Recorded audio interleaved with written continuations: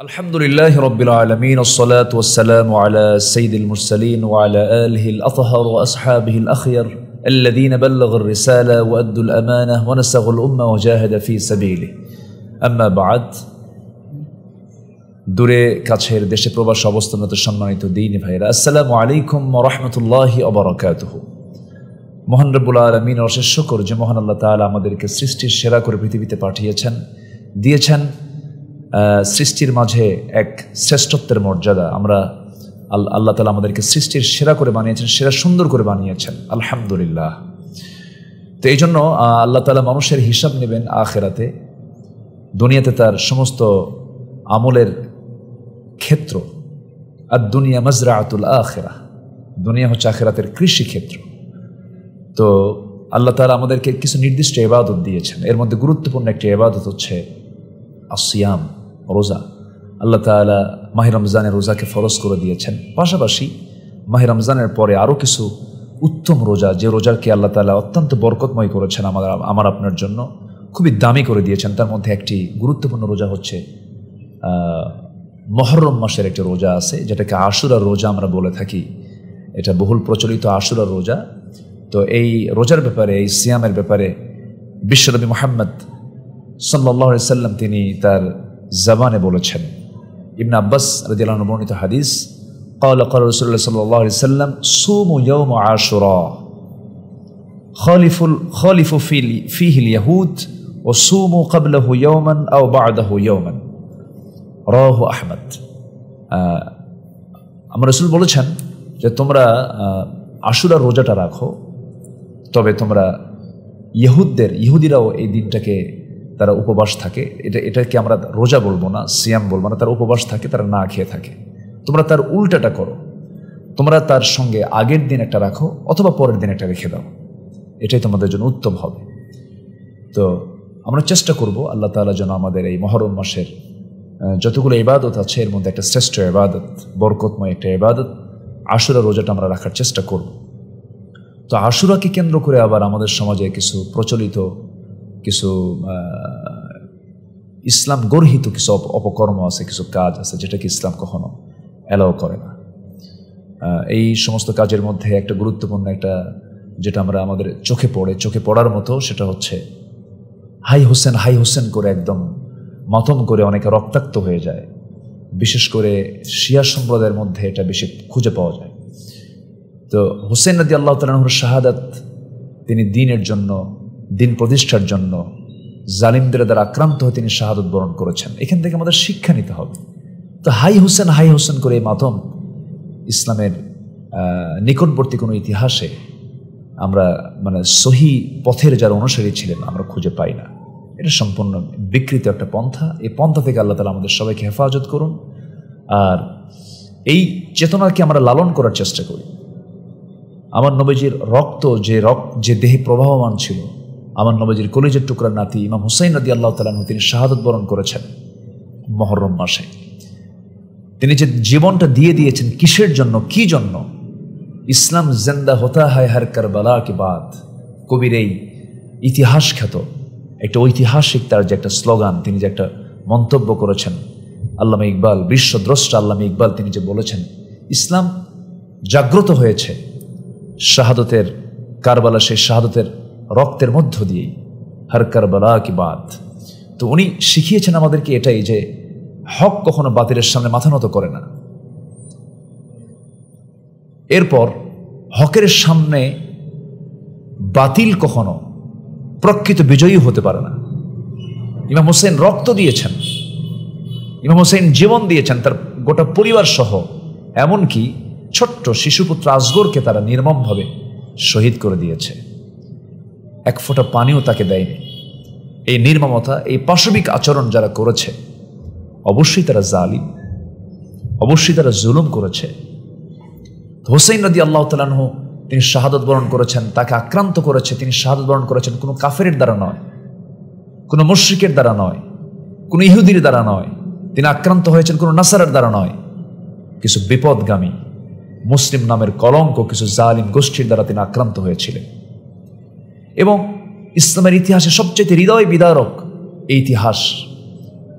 এবং তাকে পরিকল্পিতভাবে তাকে নিয়ে আসা হয়েছে কারবালার প্রান্তর পর্যন্ত। তাকে প্ল্যান করে দুনিয়া থেকে বিদায় করে দেওয়া হয়েছে। কিন্তু বাতিলরা কি বিজয়ী হয়েছে? না। বাতিল কখনো বিজয়ী হতে পারে না।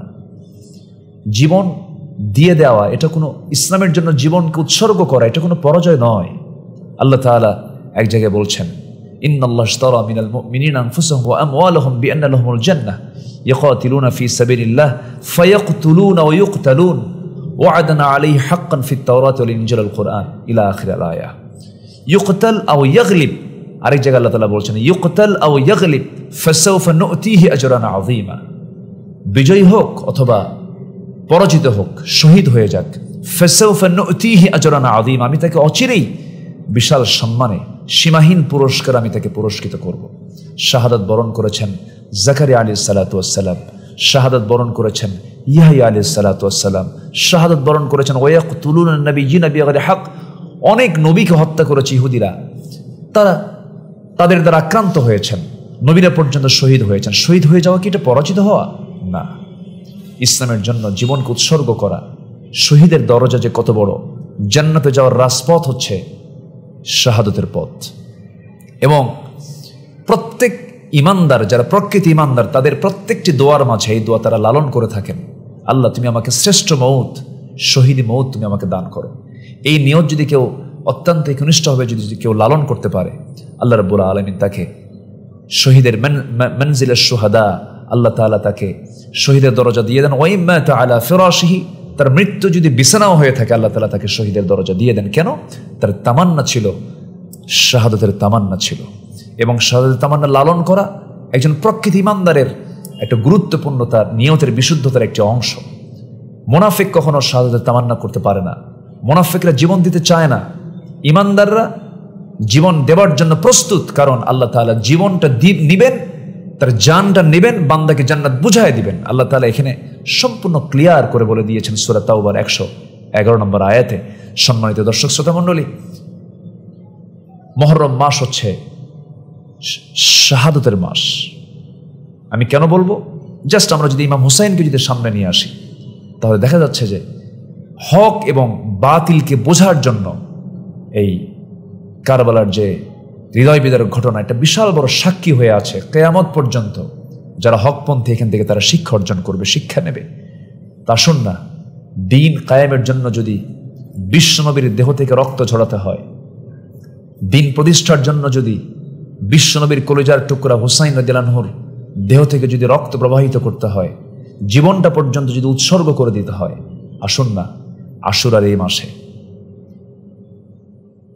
মহরমের এই গুরুত্বপূর্ণ মাসে আমরা এটাকে লালন করি যে আল্লাহ তোমার সন্তুষ্টির জন্য, তোমার দিনকে কায়েমের জন্য, তোমার রেজাবন্দির জন্য যদি আমার প্রয়োজনে, আমার সবচেয়ে প্রিয়, আমার জীবনটাও যদি তোমাকে দিতে হয়, আমি দেওয়ার জন্য প্রস্তুত আছি। এমন তামান্না প্রত্যেক ইমানদারের মধ্যে থাকা থাকা উচিত। এটাই হচ্ছে ইমানের দাবি। আল্লাহ তালা আরেক জায়গায় বলছেন, আমি কি তোমাদেরকে এমন একটা বিজনেসের কথা বলব, ব্যবসার কথা বলব? যে ব্যবসা তোমাকে জাহান্নামের আগুন থেকে বাঁচাবে। আল্লাহ তালা এখানে অন্য কোনো ইবাদতের কথা বলতে পারতেন। কিন্তু আল্লাহ তালা এখানে কিন্তু মূলত জিহাদের কথাটাই বলেছেন। যার মধ্য দিয়ে আল্লাহর পথে শহীদ হওয়া সম্ভব। আল্লাহ তালা বান্দাকে সুন্দর করে প্রশ্ন করছেন, হাল শব্দ দিয়ে শুরু করেছেন, হাল আদুল্লুকুম আলা তিজারতিন তুনজিকুম মিন আদাবিন আলিম? تؤمنون بالله ورسوله وتجاهدون في سبيل الله بأموالكم وأنفسكم ذلكم خير لكم إن كنتم تعلمون আমি কি তোমাদের কেমন একটা ব্যবসার কথা বলবো যে ব্যবসা তোমাকে জাহান্নামের আগুন থেকে নিষ্কৃতি দেবে তোমাকে নাজাদ দেবে আল্লাহ তাআলা বলছেন ইমান আনবে আল্লাহর উপরে নবীর উপরে এবং জিহাদ করবে আল্লাহর পথে তোমার জান দিয়ে তোমার মাল দিয়ে আল্লাহ তালা এখানে মালের কথা আগে বলেছেন এরপরে জানের কথা বলেছেন কারণ মালের মহাব্বতকে প্রাধান্য দিয়ে কখনো সে জান দিতে পারবে না। এই জন্য মালের মহব্বত যদি কোনো বান্দার মধ্যে কমে যায়, তখন তার জান দিতে অতটুকু তার কৃপণতা, অতটুকু তার দুর্বলতা আসবে না। তো সম্মানিত দর্শক শ্রোতা মন্ডলী আমাকে যারা শুনছেন, দেখছেন, সবার কাছে আমার আমার দিল থেকে আমার এটাই সবার কাছে বলা। আমি এটাই বলতে চাচ্ছি আজকের এই বিশেষ যে একটা সাবজেক্ট সেটা হচ্ছে আশুরার রোজা নিয়ে আমাকে বলতে বলা হয়েছে। তো আমি এই আশুরা রোজার গুরুত্বপূর্ণ তাৎপর্য, আল্লাহ তালা এই মাসটাকে, এই রোজাটাকে কেন এত গুরুত্ব দিয়েছেন?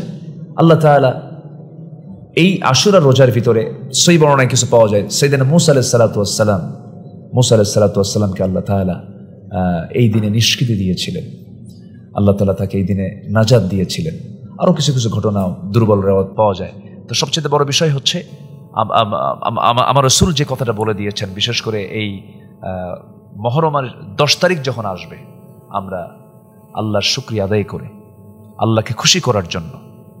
বিশেষ করে মাহে রমজানের সিয়ামের পর এই সিয়ামের গুরুত্ব অত্যাধিক। আমরা অবশ্যই এই রোজাটাকে কেউ মিস করব না। আমার রসুল তো শুধু মাহে রমজানের রোজা রাখেননি, তিনি নফল রোজাগুলো রাখতেন, সোমবার বৃহস্পতি রোজাগুলো রাখতেন। রোজা রাখলে সিয়াম পালন করলে পরে তার এবাদতের মধ্যে একটা মজা চলে আসে আবাদতের মধ্যে একটা আনন্দ চলে আসে। তার চিত্তের মধ্যে একটা প্রশস্ততা চলে আসে, তার হৃদয়ে একটা প্রশান্তি চলে আসে, একটা হৃদয়ের প্রশস্ততা মানে তৈরি হয়ে যায়, আল্লাহর সঙ্গে তার নৈকট্য হাসিলের একটা বিশাল একটা মাধ্যম হয়ে যায় হলো এই সিয়াম। তো আমরা আসুন, মাঝে মাঝে ফরজ রোজা তো রাখবই, বিশেষ করে আমরা এই নফল রোজারগুলোর দিকে আমরা গুরুত্ব দেওয়ার চেষ্টা করব, যার জীবনে নফল বেশি, তার জীবনে ফরজ আমলগুলো ছুটে যাওয়ার সম্ভাবনা খুবই কম, যার জীবনে নফল কম তার ফরজও ছুটে যাওয়ার সম্ভাবনা থেকে যায়। এজন্য আসুন আমরা ফরজকে নফল দিয়ে আবৃত করার চেষ্টা করি। যার জীবনে নফলের আধিক্য দেখা যাবে, যার জীবনে ছোট ছোট আমলগুলো বাদ পড়বে না, তার বড় বড় আমলগুলো বাদ পড়ার কোনো প্রশ্নই আসে না। যার জীবনে ছোট ছোট গুণাও হবে না, তার জীবনে বড় বড় গুণা হওয়ার কোনো সম্ভাবনা নেই বললেই চলে। এই জন্য আসুন আমরা ছোট ছোট গুণাগুলোকে ভয় করি এবং ছোট ছোট আমল যেগুলো নফল, মুস্তাহাব, এই আমলগুলোকে আমরা অবহেলা না করি। আমরা একটা চান্স যখন পেয়েছি আমরা, আল্লাহ তালা আমাদেরকে যদি বেঁচে, বাঁচে, বেঁচে রাখেন, আমরা অবশ্যই আশুরার যে গুরুত্বপূর্ণ রোজা, এটা আমরা দুটা, আগে নয় দশ অথবা দশ এগারো, আমরা এই দুটা রোজা আমরা ধারাবাহিকভাবে রাখার চেষ্টা করব। আল্লাহ তালা আমাদের সবাইকে সেই তাওফিক দান করুন এবং দিন কায়ামের জন্য জীবন যে উৎসর্গ করে দিতে হয়, ইমাম হোসাইন তার জ্বলন্ত একটি দৃষ্টান্ত, এই জীবন্ত একটি ইতিহাস বলব আমি। এই ইতিহাস থেকে আমাদেরকে শিক্ষা অর্জন করার তফিক আল্লাহ তালা আমাদের সবাইকে দান করুন। যুগে যুগে এজিদরা ছিল, যুগে যুগে জালিমরা ছিল, আজও সেই এজিদের প্রেতাত্মারা আজকের সমাজে তারা দিব্য উপস্থিত আছে। আপনি হুসেনের ভূমিকা আসলে আপনাকেও হত্যা করার জন্য, আপনার জীবনকে নাশ করে দেওয়ার জন্য, আপনা, আপনাকেও শেষ করার জন্য তারা সর্বাত্মক প্রস্তুতি নিয়ে আছে। আসুন, আমরা প্রকৃত এজিদের প্রেতাত্মাকারা তাদেরকে চেনার চেষ্টা করি, ইমানদার শত্রুকে শনাক্ত করতে পারে। আবার যারা জালিম, তারাও প্রকৃতি ইমানদারকে শনাক্ত করতে পারে। আসুন, আমরা শত্রুকে চেনার চেষ্টা করি। আমার শত্রুকে, সে শত্রু আমার প্রতিবেশী হতে পারে, সে শত্রু আমার ঘরের মানুষও হতে পারে। আমার নবীর ঘরের মানুষগুলোও শত্রু ছিল। আমার নবীর ঘরের মানুষ আবুল আহাব রসুলকে কত কষ্ট দিয়েছে। আল্লাহ তালা তার প্রতি নারাজ হয়ে লানত স্বরূপ আল্লাহ তালা তার বিরুদ্ধে একটা সুরা পর্যন্ত নাজিল করে দিয়েছেন। তো নবীর ঘরে যদি শত্রু পয়দা হয় আমার আপনার ঘরেও যে শত্রু হবে না। আমি কেমন করে বলতে পারি? আসুন, ইসলামকে মানতে গেলে যে বাধাগুলো আসে এর মধ্যে একটা বাধা হলো অন্যতম বাধা হলো পারিবারিক বাধা, সামাজিক বাধা, ধনাঢ্য শ্রেণির বাধা, রাষ্ট্রীয় বাধা, বিভিন্ন বাধায় আসতে পারে। আসুন, ইমাম হুসাইনকে আমরা বোঝার চেষ্টা করি। হককে গ্রহণ করতে গিয়ে কেমন করে জীবনকে উৎসর্গ করতে হয়, এই একটি জ্বলন্ত ইতিহাস থেকে আল্লাহ তালা আমাদের শিক্ষা নেবার তৌফিক দান করুন।